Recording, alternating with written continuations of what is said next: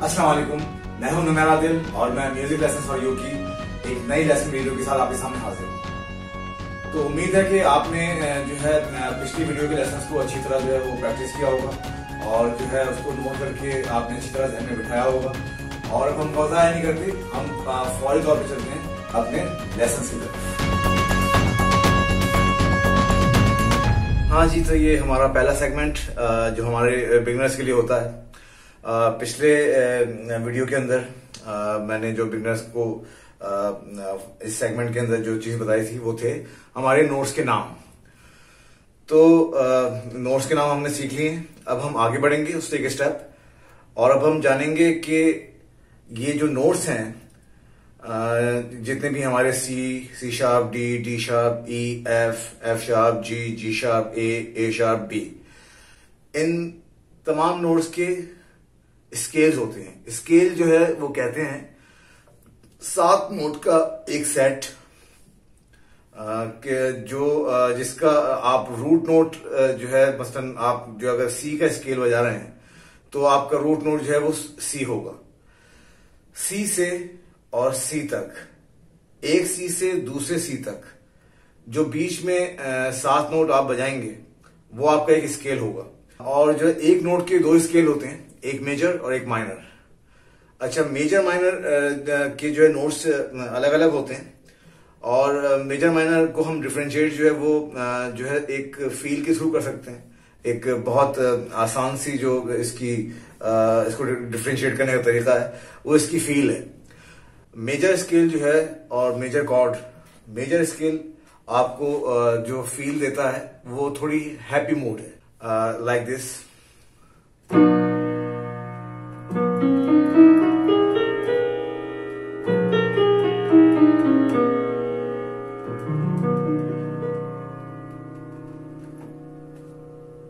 Minor scale आपको जो feel देता है, वो सैड फील है।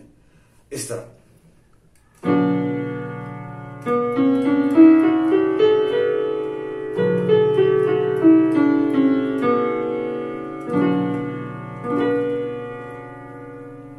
तो जो भी लोग जो है म्यूज़िक का थोड़ा भी सेंस रखते हैं, वो इस फील के फ़र्क को समझ रहे होंगे अच्छी तरह से।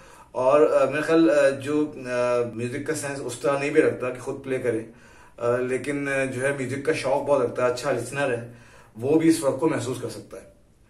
तो अब सबसे पहली बात यह कि हर नोट के जो है वो दो स्केल हैं एक मेजर और एक माइनर तो आज सबसे पहले हम सी मेजर स्केल और सी माइनर स्केल जो है, उसको सीखेंगे। और जो है इसी तरह हम आगे बढ़ते जाएँगे, फिर सी शार्प पे आएँगे, फिर डी पे आएँगे, फिर डी शार्प पे आएँगे, फिर ई पे आएँगे, फिर एफ़ पे आएँगे। लेकिन जो है मैं आपको एक दिन में सिर्फ़ दो स्किल बताया करूँगा। अब ये बारह नोट्स जैसे कि आपको बताया, एक ऑक्टिव के अंदर बारह नोट्स हैं तो इन बारह नोट्स के जो है, चौबीस स्केल हैं। तो चौबीस स्केल जो है, वो हम इनशाला आप समझ लें कि बारह वीडियोज़ के अंदर हम जो है, इसको कवर कर लेंगे। और ये थोड़ा सा स्लो चलेगा प्रोसेस और उसकी वजह यही है कि फिर वही बात कि कोई शॉर्टकट नहीं है। आपको इन स्किल्स की प्रैक्टिस करनी ही पड़ेगी। और जब तक आप स्किल्स को नहीं प्रैक्टिस करेंगे, नहीं बजाएँगे अपने हाथ से, उस वक्त तक जो है आपका जो है एक अच्छा प्लेयर बनना बहुत बहुत मुश्किल काम है। जो स्किल्स की प्रैक्टिस नहीं करते जो लोग, और मेलेडीज वगैरह प्ले कर लेते हैं लेकिन उनका हाथ जो है, उसमें कभी कभी भी जो उनके अंदर कॉन्फिडेंस पैदा नहीं होता, क्योंकि ज़ाहिर है जब तक आप स्केल की नोटेशंस को समझ नहीं पाएँगे तो आपकी मेलेडी में भी वो निखार नहीं आएगा, और ना जो है आपके जो है प्लेइंग में वो कॉन्फिडेंस जो है वो आएगा, जब तक आपके स्केल्स जो है वो सारे नहीं पता होंगे, और आपके हाथ पे उसकी प्रैक्टिस ना चढ़ी हुई होगी। तो अब खैर हम वजाया नहीं करते। हम आज सबसे पहले अपना जो जो सबसे पहला नोट हमारा होता है ऑक्टिव का सी तो उसका जो है हम मेजर स्केल जो है सबसे पहले हम सीख रहे हैं और उसके नोट्स हैं ये। C D E F G A D C ये स्केल के नोट्स हो गए। तो जनाब, अब ये है कि, अब ये नोट जो है मैंने आपको इसके बता दिए सी मेजर स्केल के। और जब मैं इसकी फिंगर पोजीशन आपको बता रहा हूँ फिंगर पोजीशन सबसे अहम चीज़। सबसे अहम चीज़ जो है वो किसी भी स्केल को प्ले करने के लिए या किसी भी मेलेडी को इवन प्ले करने के लिए वो फिंगर पोजीशन होती है। लेकिन वही बात है कि अगर आप स्केल की प्रैक्टिस में जो है आपकी फिंगर पोजीशन जो है वो बनती है असल में। तो सी मेजर स्केल की पोजीशन जो है, ये हम देख लेते हैं जी ये ये हमारा थम है।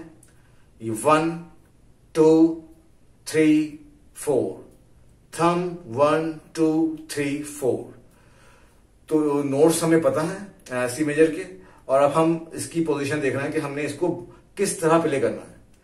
तो जनाब ये होती है इस तरह play thumb one two thumb one two three four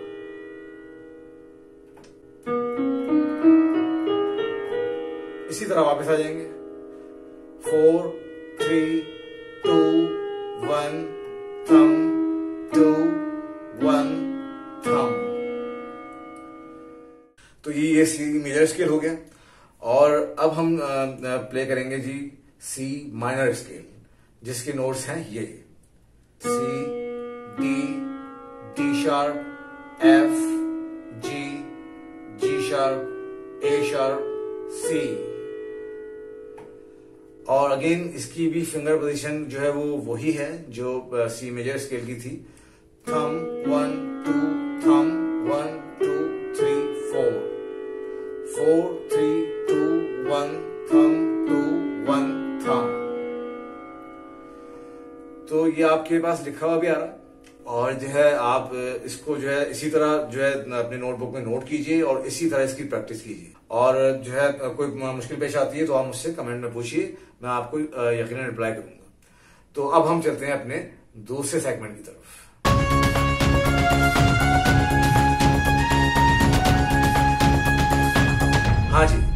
ये हमारा दूसरा सेगमेंट जिसमें हम कोई ना कोई मेलोडी जो है वो प्ले करनी सीखते हैं। लास्ट टाइम हमने जो है ट्विंकल ट्विंकल लिटिल स्टार को जो है वो प्ले किया था और सीखा था। और उम्मीद है कि आपने जो उस पर काफ़ी जो है प्रैक्टिस की होगी और आपको मेलोडी याद हुई होगी और आप खुद प्ले कर रहे होंगे उसको अब। आ, तो नेक्स्ट अब हमने जो आज मैंने एक सॉन्ग का इंतखब किया जिसका जो है आप समझ लीजिए जीवे जीवे पाकिस्तान के बाद। सबसे ज़्यादा जो फ़ेमस हमारा नेशनल सॉन्ग हुआ है, वो है जनाब दिल दिल पाकिस्तान।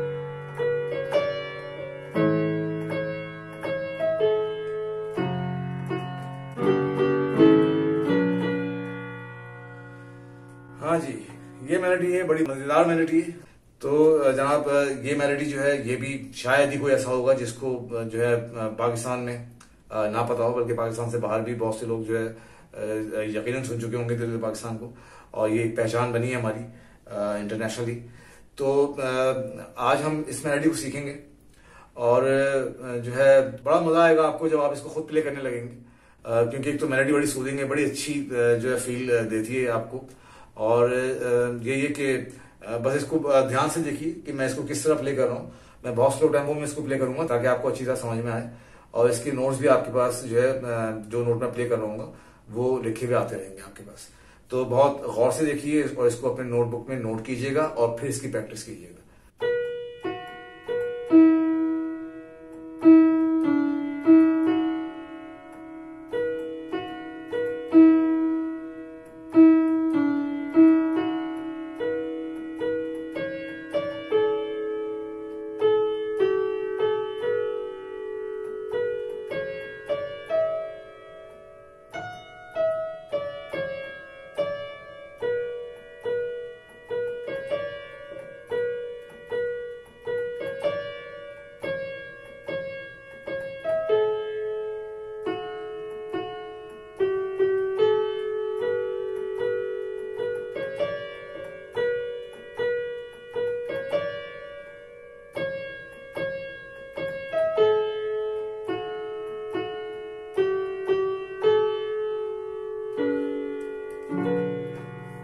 जनाब तो ये थी हमारी आज की मेलेडी। और यकीन आपने एंजॉय भी किया होगा और आप एक्साइटेड भी होंगे अब इसको खुद अपने हाथ से प्ले करने के लिए। तो अब जल्दी से आप जो है अपनी नोट्स बुक निकालें और इसको जो है थोड़ा सा वीडियो को पीछे करें और इसको अच्छी तरह से जो है अपने पास नोट कीजिए नोटबुक के अंदर। और फिर उसको देख के जो है, आप इसको प्ले कीजिए तो आपको ये ज़बरदस्त तरीके से याद हो जाएगी। तो जनाब, अब हम चलते हैं अपने लास्ट सेगमेंट की तरफ़। जो कि एडवांस लेवल का सेगमेंट भी है और जो है उसको वो चाहे तो बिगनर्स भी जो उस, पर जो है फोकस करके और कर सकते हैं लेकिन बिगनर्स अपने सेगमेंट्स पे जो है वो ज़्यादा ध्यान दें जो कि उनके लिए मखसूस है। तो जनाब चलते हैं हम अपने तीसरे सेगमेंट की जाने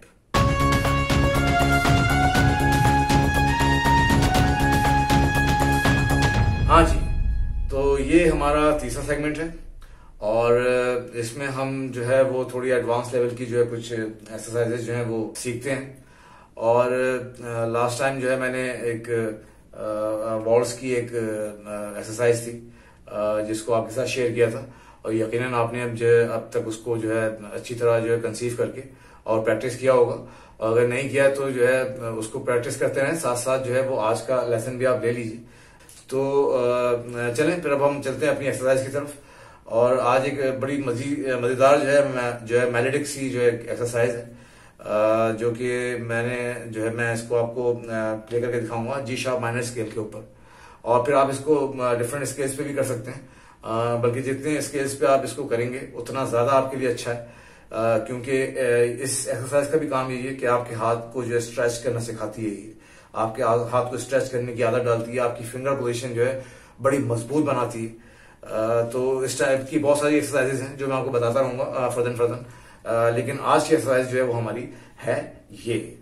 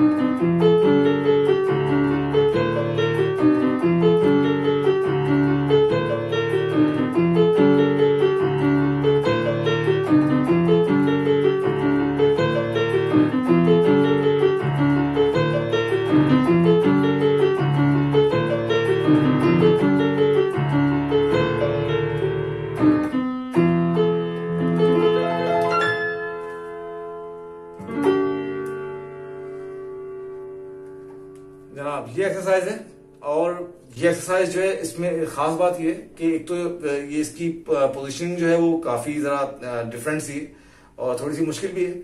और इसमें आपकी सारी फिंगर्स जो है, वो वर्क करती हैं और सारी फिंगर्स का काम है। खासतौर पे हमारी जो है, ये और ये फिंगर जो है वो जरा हर इंसान की जो है वो थोड़ा, थोड़ी कमज़ोर होती है। और इसीलिए ऐसी प्रैक्टिस हमें करनी चाहिए कि जिनमें इन दो फिंगर्स को जो है हम मज़बूत बना सकें। तो उसकी एक्सरसाइज जो है वो उसके लिए ऐसी प्रैक्टिस जो है वो उस्तादों ने हमें बताई हैं और जो है, अब हम आप तक पहुँचा रहे हैं। तो उसी तरह जो है, ऐसी एक्सरसाइज हैं जिसमें सारी फिंगर्स आपकी जो है एक साथ वर्क करें और जो आपको एक साथ जो है वो तमाम फिंगर्स का फ़ायदा मिले। तो इसकी पोजीशन आपने जो है गौर से देखी होगी, नहीं देखी है तो मैं आपको बहुत स्लो टेंपो में एक बार फिर इसको प्ले करके दिखा देता हूँ, ताकि आप इसकी पोजीशन को समझ सकें।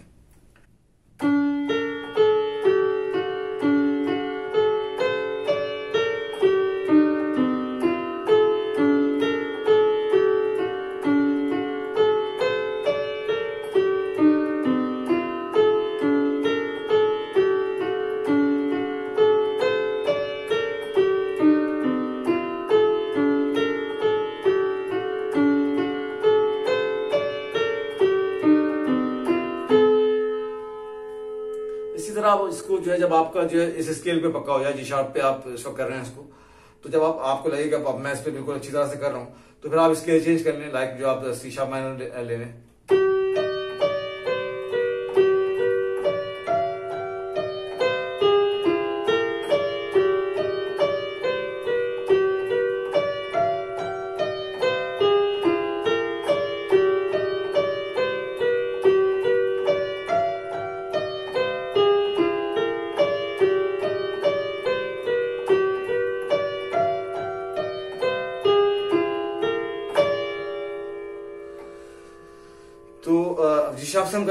इसके कॉर्ड्स भी आपने देख लिए होंगे। वैसे मैं आपको चले बता देता हूँ, अगर हम ये बजा रहे हैं तो।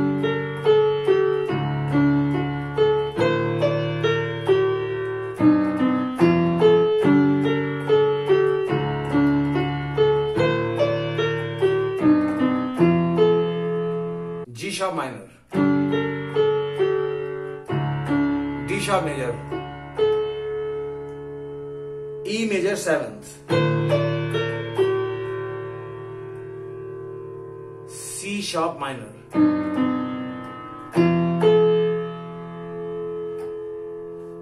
और फिर ये आखिर में एफ़ शार्प मेजर तो इसकी बांट को आपको सा देखना पड़ेगा। नोट टू नोट जो इसकी बांट चेंज होती है। दोबारा आप देख लीजिए कि मैं किस तरह कहाँ पे क्या कॉर्ड चेंज कर रहा हूँ।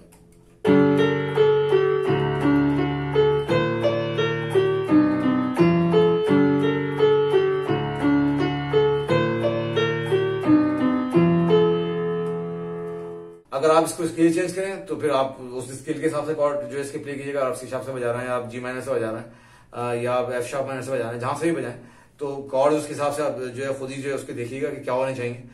तो जनाब, ये था हमारा लास्ट सेगमेंट और बहुत उम्मीद है मुझे कि जो है, आपने अच्छी तरह से जो इस एक्सरसाइज को जो कंसीव किया होगा, और आप जो है इसको अच्छी तरह पक्का करे करेंगे, और ये वादा भी आप सब मुझसे करें कि आप पिछला लेसन नहीं छोड़ेंगे भले आपको जो है थोड़ा अपना टाइम बढ़ाना पड़े, अगर टाइम नहीं बढ़ा सकते तो आपने जितना टाइम भी अपनी एक्सरसाइज के लिए जो है वो फिक्स किया हुआ है, उसी में आप डिविजन जो है करेंगे अपनी आगे की एक्सरसाइज के लिए। तो बस कहूँगा मैं यही कि आप इसको भी कीजिएगा और जो पिछली दी थी उसको भी कीजिएगा और जब मैं आगे बढ़ूं नेक्स्ट वीडियो में जो मैं एक्सरसाइज दूँ तो इन दोनों को भी करते रहिएगा। तो जो है जो लोग इसको म्यूज़िक को अपना प्रोफेशन के तौर पे मानते हैं और इसको अपना प्रोफेशन बनाना चाहते हैं उनके लिए तो फिर वो जितना टाइम दे कम है। मैंने भी जो है, डेली सात आठ घंटे की प्रैक्टिस जो है, अपने, जो सीखने के दौर में दी है। तो जो है अब ये देख लें कि बात वही कि अगर आप एज अ प्रोफेशन जो है म्यूज़िक को जो है ज्वाइन करना चाहते हैं तो जनाब आपको इतना टाइम तो देना पड़ेगा। मतलब जो एक, कम से कम जो एक ऑफ़िस वर्किंग आवर्स जो होते हैं नाइन टू फाइव आठ घंटे तो इतने तो आपको दिन में देने पड़ेंगे। ये नहीं कह रहा मैं कि जो आप जो है अपनी दुनिया के सारे, जो है, काम धंधे छोड़ के और अपनी पढ़ाई छोड़ के और जो है अपने घर के जो फराइज हैं वो सब छोड़ के जो है वो इसमें लग जाए।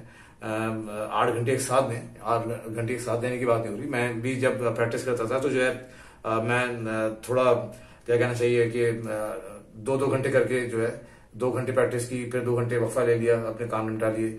फिर दो घंटे प्रैक्टिस की, फिर दो घंटे वफा ले लिया, अपना जो है होमवर्क पूरा कर लिया, अपना काम कर लिया। तो इस तरह करके जो है मैनेज करना होता है। लेकिन जो है, फिर भी मैं वही कहूँगा कि अगर आपने जो है एज अ प्रोफेशन जो है म्यूज़िक को अपनाना है तो जो है प्रैक्टिस का कोई शॉर्टकट नहीं है। प्रैक्टिस का कोई शॉर्टकट नहीं है। प्रैक्टिस का कोई शॉर्टकट नहीं है। आपको हर सूरत में जो है प्रैक्टिस को टाइम देना पड़ेगा। और रिकमेंडेड टाइम जो है मेरी तरफ़ से वो जो है वो आप समझिए कि दिन में सात से आठ घंटे अगर आप एज अ प्रोफेशन जो है म्यूज़िक को लेना है। तो बहरहाल जनाब ये हमारा आज का ये लास्ट सेगमेंट था और मैं उम्मीद करूँगा कि जो आप अच्छी तरह से जो इसकी प्रैक्टिस कीजिए और पिछली प्रैक्टिस को भी टाइम दीजिए और इसको भी टाइम दीजिए। और जी जितना बेहतर तरीके से आपको कोई प्रॉब्लम्स पेश आए तो मैं आपको पहले बता चुका हूँ कि आप आ, मेरी ईमेल के ऊपर भी आप मुझे अपनी वीडियोस बना के भेज सकते हैं आ, अपनी प्रैक्टिस की। अगर आपको कोई ट्रबल शूट है मैं देख लूँगा कि आपकी पोजीशन सही है कि नहीं है और उसके हिसाब से जो है आपको आ, मैं सजेशन दे दूँगा एडवाइस कर दूँगा। और अगर जो है कोई छोटा मोटा इशू है तो आप जो है कमेंट्स के अंदर पूछ सकते हैं कोई ऐसा मसला नहीं है। मैं हर तरह से आपको रिप्लाई करूँगा। हाँ जी तो उम्मीद है कि आपको जो है आज के लेसन अच्छी तरह समझ में आए होंगे। और अगर नहीं आए हैं तो आप कमेंट्स के अंदर मुझसे जो चाहे पूछ सकते हैं। मैं हर तरह से आपको जवाब दूँगा, आपको सेटिस्फाई करूँगा। और अगर आप चाहें तो अपनी अपनी प्रैक्टिस की वीडियो जो है वो शूट करके, और आप मुझे मेरे जी मेल पर भेज सकते हैं। Numair dot Adil at gmail dot com मेरा ई मेल एड्रेस है। और आप उस पर भेजिए। और जो है उस पर रिप्लाई थोड़ा लेट हो सकता है, लेकिन जो है मैं यकीन आपको रिप्लाई करूँगा। और जो है पर्सनली आपको सजेस्ट करूँगा एडवाइस करूँगा इसके अलावा आप कमेंट्स में अगर छोटे मोटे इश्यूज़ हैं तो आप कमेंट्स के अंदर पूछ लीजिए। और जो है वो आपको वहाँ पर रिप्लाई जो है ई मेल से ज़्यादा जल्दी मिल जाएगा। तो उम्मीद है जनाब कि आज भी जो लेसन आपको दिए गए आप उसको अच्छी तरह प्रैक्टिस करेंगे पिछली बार की तरह। और जो है इंशाल्लाह आपको इससे काफ़ी फ़ायदा होगा। प्रैक्टिस का कोई तोड़ नहीं है प्रैक्टिस जो करेगा, वही झंडे गाड़ेगा दुनिया में। तो जनाब मिलते हैं इंशाल्लाह अपनी नेक्स्ट वीडियो के अंदर। तीन दिन बाद, अल्लाह हाफिज।